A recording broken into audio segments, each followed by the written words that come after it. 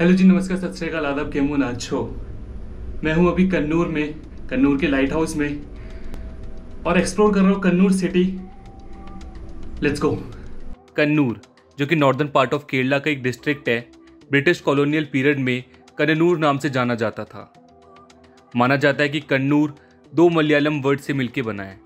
कनन, जो कि है लॉर्ड कृष्णा एंड उर मतलब प्लेस तो कन्नूर का मतलब हुआ the place of lord Krishna पूरे इंडिया में ये इकलौती ऐसी जगह है, जिसे टारगेट किया गया पोर्टुगीज डच फ्रेंच ब्रिटिश और जर्मन्स द्वारा, यहाँ पे राज करने के लिए। और अरब्स हेब्रियूज पर्सियंस द्वारा यूज़ किया गया यहाँ पे ट्रेडिंग के लिए।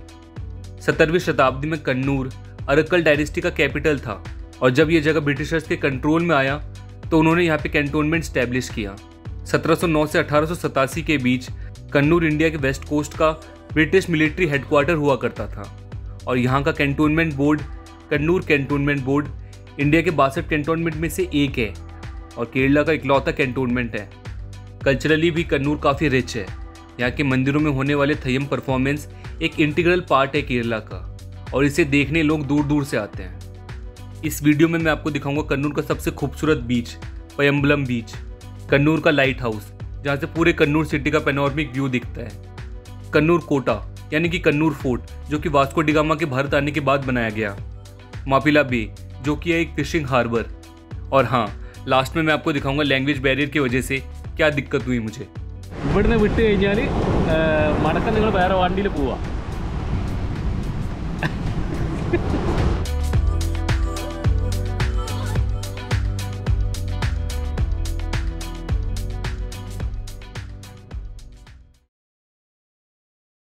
आप अभी देख पा रहे होंगे कि धूप बहुत ही ज़्यादा तेज़ है लेकिन इस धूप में मत जाइए। केरला में अभी मानसून चल रहा है। अभी धूप है पंद्रह मिनट बाद बारिश हो जाए कुछ कह नहीं सकते।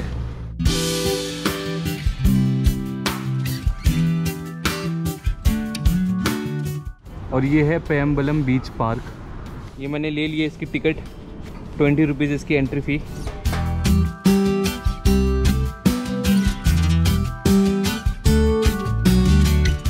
तो इस बीच में ऐसा कुछ खास है नहीं, सिर्फ़ और सिर्फ़ झूले लगे हुए हैं। अगर आप बच्चों के साथ ट्रैवल कर रहे हैं तो ये जगह ठीक है। बच्चे यहाँ पे खेलेंगे आराम से और आप बैठ जाइएगा कहीं पे। एनीवेज अब चलते हैं बीच की तरफ़ और बीच का रास्ता इस खूबसूरत ब्रिज के साथ होते हुए जा रहा है।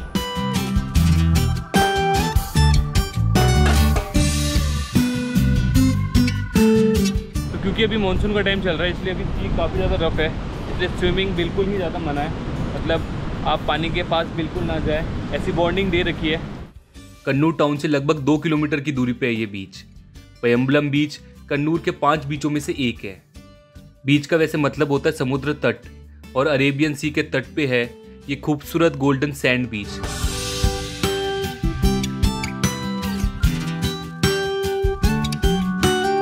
बीच लगभग तीन से चार किलोमीटर लंबा है, और टूरिस्ट और लोकल्स दोनों के लिए ये एक फेवरेट हैंग आउट प्लेस है।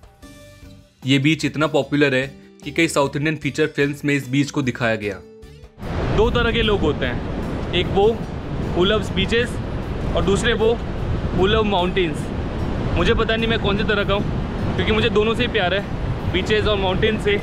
मैं अपने सीरीज़ में फिगर आउट करके बताता हूँ कि मुझे क्या ज़्यादा पसंद है। तब तक आप कमेंट करके बताएँ कि आपको क्या पसंद है बीच या माउंटेन ये यहाँ पे कुछ बीच साइड स्नैक्स भी मिल रहे हैं।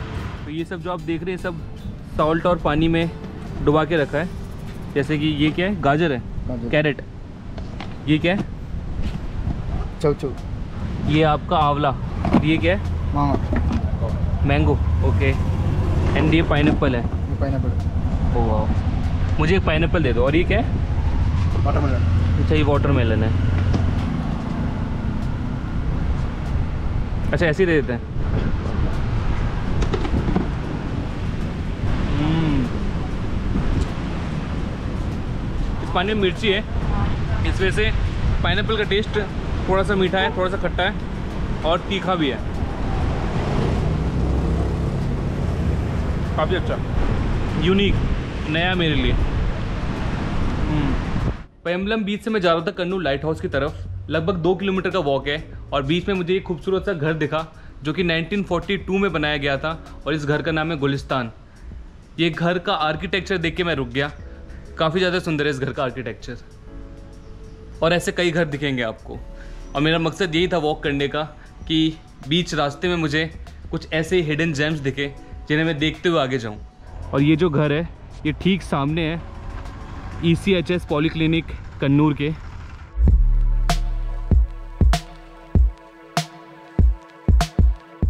तो ये मैं आ गया हूँ कन्नूर लाइट हाउस और यहाँ से इसकी एंट्री है। और इसकी एंट्री फ़ी है ट्वेंटी रुपीज़ एडल्ट के लिए चिल्ड्रन के लिए टेन और फोटोग्राफी अगर आप कर रहे हैं मोबाइल से या फ़ोन फ़ोटो जो भी है, उसका है चार्जेस ट्वेंटी रुपीज़ तो इस टिकट में आप पहले म्यूज़ियम देख सकते हैं. म्यूज़ियम देखने के बाद आप लाइट हाउस में ऊपर चढ़ के जाएँ और वहाँ से बेहतरीन नज़ारा देखें.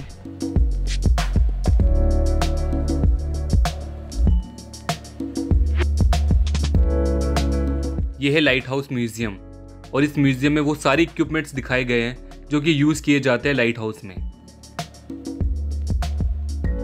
पंद्रहवीं शताब्दी से कन्नूर एक इंपॉर्टेंट सी पोर्ट रहा, यहाँ के रूलर्स के लिए। और इसी वजह से कई जहाज़ यहाँ आते रहते थे। लेकिन अंधेरी और तूफानी रातों में सेलर को समुद्री तट देखने में और समझने में दिक्कत होती थी। और इसी वजह से वे सही टाइम पे अपने जहाज़ की स्पीड कम नहीं कर पाते और टकरा जाते थे किनारों से, जिससे जहाज़ को भी नुकसान होता था। इसी को देखते हुए लोगों ने पहाड़ियों के ऊपर आग जलाकर समुद्री जहाज़ों को संकेत देने लगे। उसके बाद फिर कोयले और तेल की मदद से लैम्प जलाया जाने लगा। यही डेवलप होते होते लाइट हाउस बना, समुद्र किनारे। और लाइट हाउस बनने का भी यही पर्पज़ था कि सेलर्स को दूर से दिख जाए समुद्र के किनारे।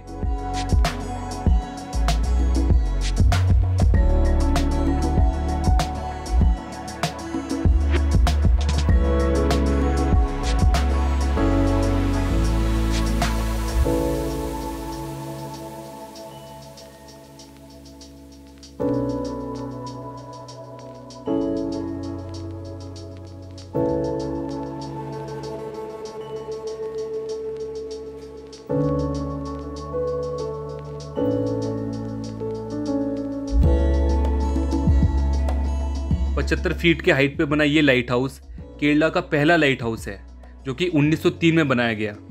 And this lighthouse that overlooks the Arabian sea is still operational इस लाइट हाउस से आप पेनॉर्मिक व्यू देख सकते हो, कन्नूर सिटी का लिमिटलेस अरेबियन सी देख सकते हो बेबी बीच और पयमलम बीच भी देख सकते हो।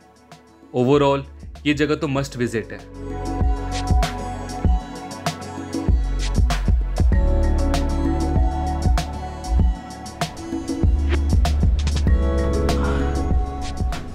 चलते हैं यहाँ से।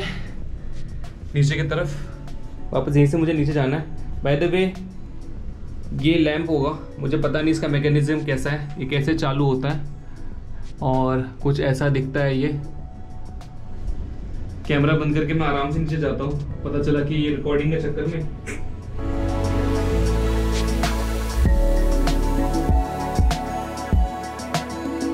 कन्नूर लाइट हाउस से लगभग एक किलोमीटर की दूरी पे है बेबी बीच बेबी बीच इसे इसलिए बोला जाता है क्योंकि ये छोटे साइज़ का बीच है। लेकिन इसके नाम और साइज़ पे मत जाइए। ये बीच काफ़ी खूबसूरत है। एक्चुअली बेबी बीच पयम्बलम बीच का ही एक पार्ट है। और लोग इन पत्थरों पे बैठ के अरेबियन सी का पैनोरमिक व्यू देखते हैं। तो दूर वहाँ पे देखिए लाइट हाउस है। वहीं पे मैं था और वहाँ से मैं ये सारा नज़ारा देख रहा था। वैसे ये बेबी बीच नहीं है। जो असल बेबी बीच है वो अब मिलिट्री कैंपस के अंदर आ चुका है। वहाँ हम लोग नहीं जा सकते क्योंकि वो रेस्ट्रिक्टेड एरिया है।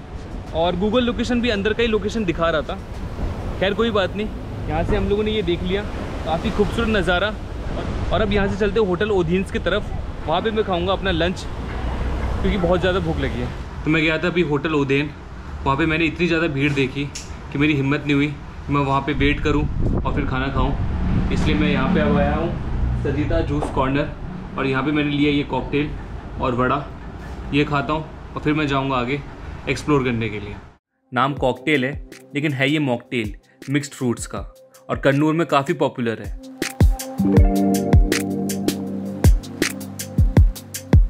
तो मैं अब आ गया हूँ कन्नूर फोर्ट, और अब चलते देखने बीच साइड फोर्ट को। एंट्री फ़ीस यहाँ की ट्वेंटी फाइव रुपीज़ है।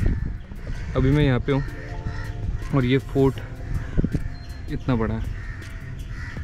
मालाबार कोस्ट में बना ये ट्रायंगुलर फोर्ट जिसे कन्नूर कोटा भी कहा जाता है is one of the ancient forts in the country चौदह में, जब वास्को डिगामा भारत आए तो यहाँ के लोकल कोलोथेरी किंग ने ज़मीन का कुछ हिस्सा पुर्तगालियों को दिया, ताकि वो अपना यहाँ पे सेटलमेंट बना सके।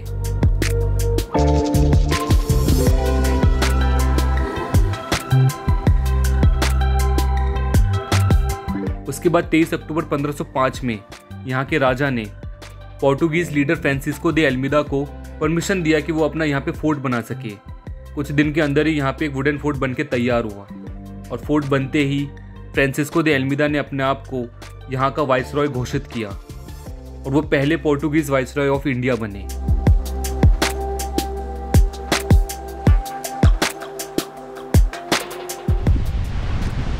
आप बीच साइड सिटी में कोई भी जगह चले जाओ।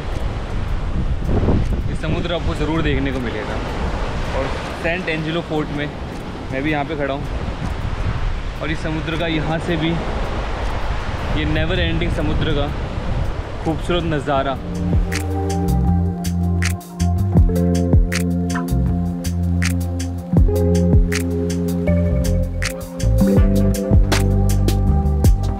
और ये जो भैया आप देख रहे हैं यहाँ पे बैठे हुए हैं, ये मछली पकड़ रहे हैं। और काफ़ी टाइम से देख रहा हूँ मैंने। अभी तक तो मछली हाथ नहीं आई।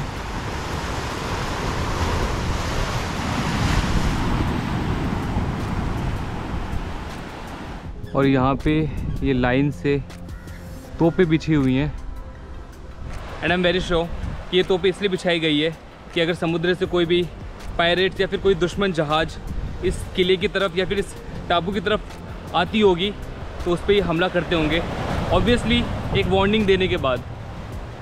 15 फरवरी सोलह में डच ने इस किले को कैप्चर किया पुर्तगालियों से। 1772 में डच ने इस किले को अरकल डायनेस्टी के किंग अली राजा को बेच दिया। ब्रिटिशर्स ने फिर इसे 1790 में सीज किया and use it as one of the major military station on the Malabar coast historically ये फोर्ट काफ़ी रिच है। मैंने आपको बस थोड़ा सा बताया इस फोर्ट के बारे में। If you are a history lover then you should visit this place मुझे लगा कि मैं इतनी धूप तो सहन कर लूँगा, लेकिन बहुत ही ज़्यादा तेज़ धूप हो गई है अब। मतलब ये धूप अब एनर्जी सोख रही है। कहाँ मैं सोच रहा था कि केरला में मानसून चल रहा है। पंद्रह मिनट में बारिश हो जाएगी, लेकिन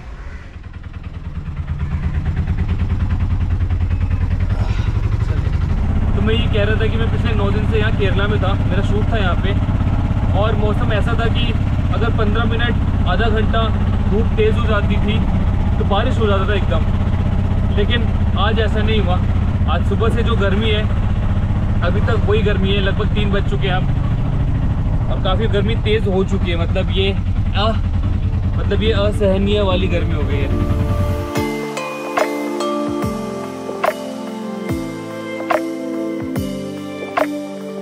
सेंट एंजिलो फोर्ट से मैं पहुँचा मापिला बे, जो कि एक नेचुरल हार्बर है। मापिला बे, इसे इसकी बनावट की वजह से कहा गया है। कोलाथिरिस डायनेस्टी के टाइम पे ये बे फ़ेमस था, एज अ कमर्शियल हार्बर, जो कि लिंक करता था यहाँ के रीजन को, लक्षद्वीप और बाकी कंट्री से। ये बे वैसे फंक्शनल है as a fishing harbour not as a tourist destination लेकिन आप इस कलरफुल जगह पे आ सकते हो और यहाँ पे होने वाली एक्टिविटीज़ देख सकते हो। और यहाँ के लोगों से इंटरेक्ट करके फिशिंग के बारे में और जान सकते हो। ये क्या कर रहे हैं आप लोग?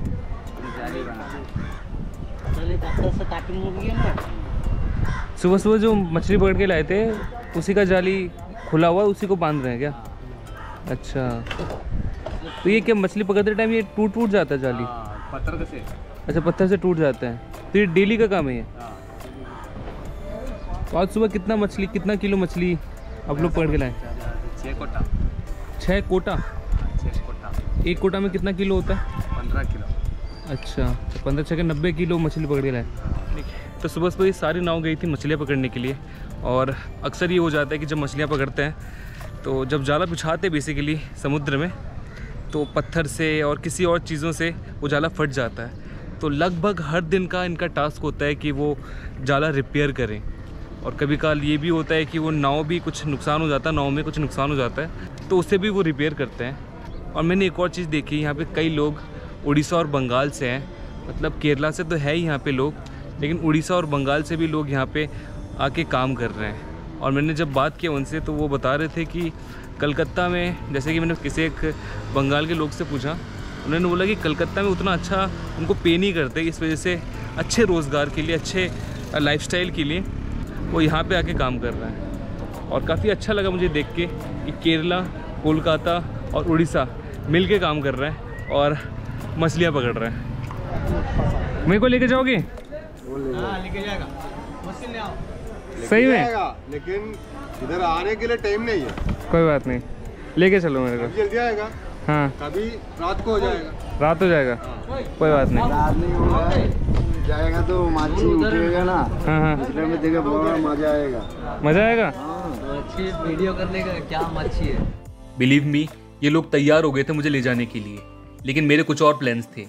बट डेफिनेटली ये चीज़ भी मैं एक दिन ज़रूर एक्सपीरियंस करूँगा। इतना अच्छा जगह है केरला। इंडिया के अंदर बहुत अच्छा है केरला। बोले को बोलता है। हाँ।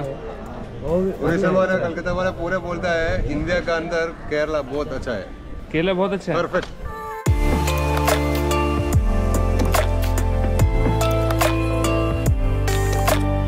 सो मैंने अपने पाँच सब्सक्राइबर यहाँ से कमा लिए हैं।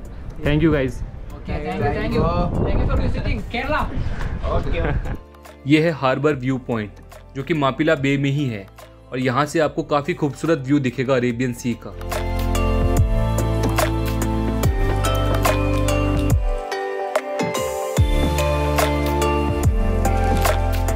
साथ ही साथ यहाँ पे आपको कई लोग दिखेंगे मछली पकड़ते हुए और कुछ लोगों से मैंने पूछा कि वो ऐसा क्यों कर रहे हैं। Because they can easily get a fish from a fish market पर इसमें उन्होंने कहा कि एक हॉबी है और समुद्र किनारे ऐसे बैठ के मछली पकड़ना अच्छा लगता है उन्हें।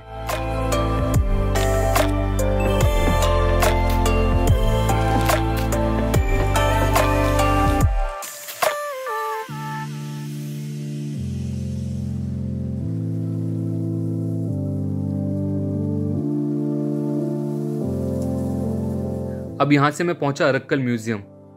केरला का इकलौता मुस्लिम शाही परिवार, अरक्कल का ये रेसिडेंशियल हाउस हुआ करता था। अरक्कल डायनेस्टी की खास बात ये थी कि इसमें एक महिला शासन किया करती थी, जिन्हें बीवी कहा जाता था। म्यूज़ियम में अंदर घुसते ही आपको ऐसा लगेगा कि आप सोलहवीं शताब्दी में पहुँच गए हो।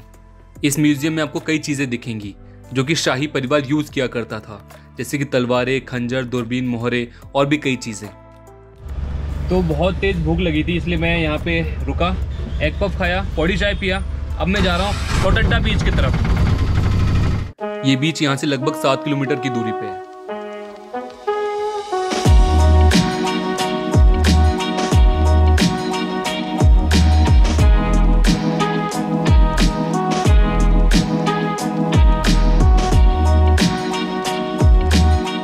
बीच तो मैं पहुँच गया। मुझे लगा कुछ अच्छा बीच होगा एक्साइटिंग सा बीच होगा। कितना हो गया?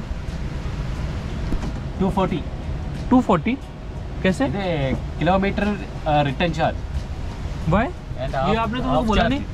हाफ़ चार्ज ही नहीं। नहीं ये तो आपने उस टाइम बताया नहीं हाफ़ फुल चार्ज अरे town bus stand highway road और रिटर्न चार्ज तो रिटर्न चार्ज मेरे साथ में चलेगा क्या? हाँ तो रुक एक पाँच मिनट रुक जाओ मैं चलेगा सर वेट चार्ज इधर वैल्यू आप तो बाप रे बाप रिटर्न का भी लेंगे। Wait wait I will come and see and come okay okay? Okay मुझे जहाँ तक लग रहा है कि उन्होंने मुझे नहीं बताया कि रिटर्न चार्जेस भी इसमें जोड़ेंगे। और अभी आके उन्होंने बताया कि हाईवे से जैसे ही अंदर जाता है कोई गाड़ी तो उसका डबल चार्ज हो जाता है। तो अभी मीटर में कुछ 105 बन रहा था, वो बोल रहे दो सौ लगेगा, क्योंकि रिटर्न चार्ज भी उसमें ऐड हो चुका है। क्या कर सकते हैं आप? यार मैंने उन्हें बोला कि आप थोड़ी देर वेट करिए, जो भी इसका वेटिंग चार्जेस होगा, मैं वो दूँगा, लेकिन रिटर्न चार्जेस के बदले मैं साथ में चलूँगा मैं।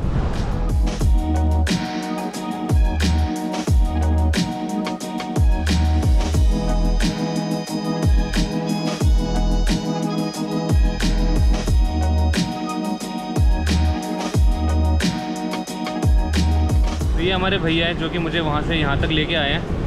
और ना मुझे इनकी भाषा समझ आ रही है ना इनको मेरी भाषा समझ आ रही है। यही हो रहा है ना? और इसी वजह से ये डबल चार्जेस का फंडा हो गया।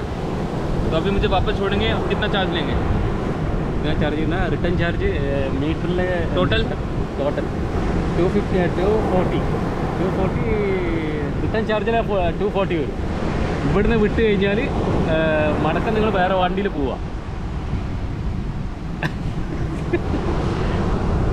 ठीक है मैं सल्टा लूँगा इस मामले को। कोई बात नहीं।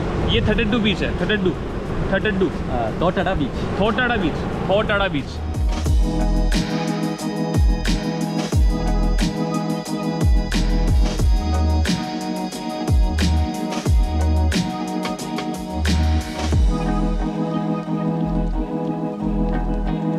तो इस बीच में मुझे कुछ खास तो लगा नहीं। बस ये है कि कम लोग हैं यहाँ पे। आप आराम से यहाँ पे इन्जॉय कर सकते हैं बीच को। इसलिए यहाँ पे आप आ सकते हैं। बाकी बीच देखना है नॉर्मल पानी वानी देखना है तो पैम्बलम बीच इज़ एनफ अब यहाँ से चलते हैं, क्योंकि देख लिया, बहुत जो देखना था।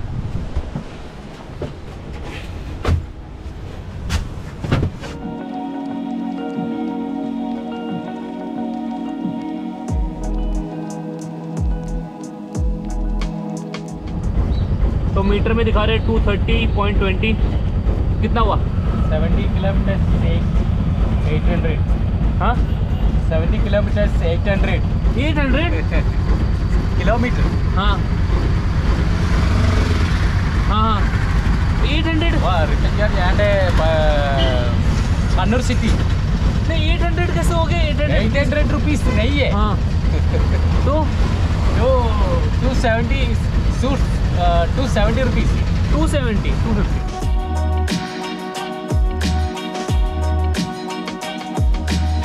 तो केरला की सड़क में मैं घूम रहा था और रास्ते में मुझे दिखा कैलाश भेल पकौड़ी और मैंने भैया से बात किया। तो इन्होंने बोला ये राजस्थान चित्तौड़गढ़ से है। हाँ। तो कैसे आना हुआ यहाँ पे? काम के चक्कर में? नहीं ऐसे ही पहले से गाड़ी था इसलिए। अच्छा तो कब आए थे? यहाँ कब आए यहाँ? मेरे को सात आठ महीना हो गया भैया पुराने थे।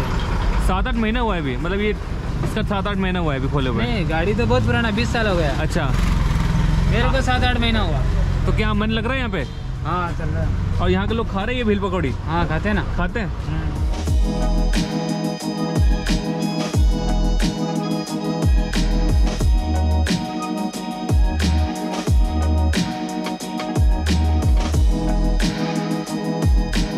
कन्नूर के गलियों में मुझे ये भेलपुड़ी मिल गया। तो अभी मतलब भाषा बोल पा रहे हैं मलयालम? हाँ थोड़ा थोड़ा। थोड़ा थोड़ा। हम्म, यहाँ पे पसंद करते हैं यहाँ पे लोग ये हाँ भेलपुड़ी भेलपुरी नहीं भेलपुरी कम खाते हैं मसाला पूरी ज़्यादा है। फ़ेमस पहला नंबर मसाला पूरी अच्छा।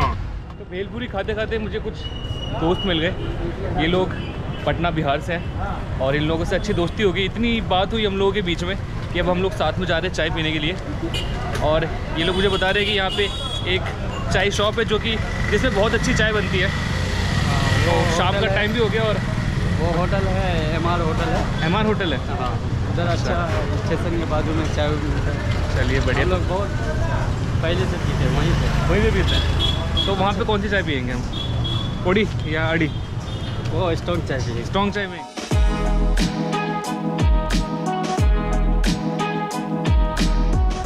तो चाय पीने के लिए हम लोग आए हैं एम बेकरी रेस्टोरेंट केटरिंग और यहाँ की चाय काफ़ी अच्छी होती है, जो कि ये लोग बता रहे हैं। एच सी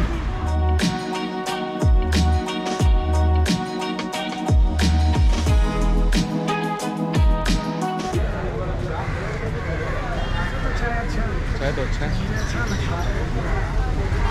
सही जगह ले आए।